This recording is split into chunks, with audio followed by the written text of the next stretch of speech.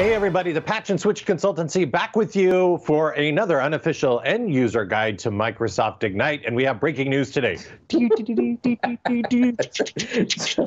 Everything is open. The site is open. The schedule is published. The tools are live. I'm already building my schedule and filling it up with all sorts of really good goodness inside of my schedule. Wait, looking hang for on, hang on. Stop, stop, What? stop. I, I've, got, I've got to, I've got to pause you here. What? You jumped right to schedule building and you missed a very, very important thing, which is filling out your profile. You mean like your job title and your who you work for and stuff?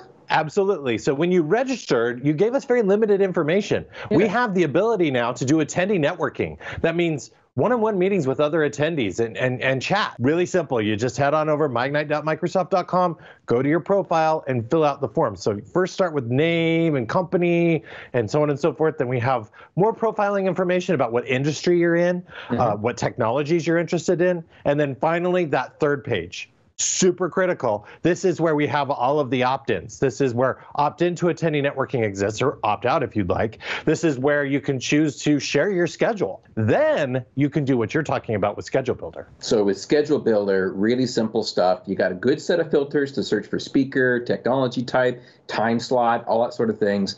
Uh, put those in your schedule. Your little flyout on the right-hand side with my event schedule shows you what's there, including time gaps. But what's really important here is pay close attention.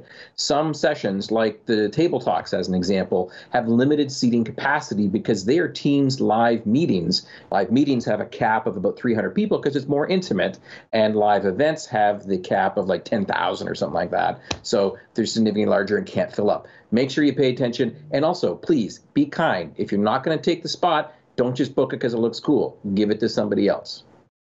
Remember, you get none of this experience unless you're fully registered attendee of Microsoft Ignite. So head over to myignite.microsoft.com and get registered. And for more tips and tricks from us, the Patch and Switch Consultancy, head on over to our unofficial end user guide for Microsoft Ignite located below. See you next time.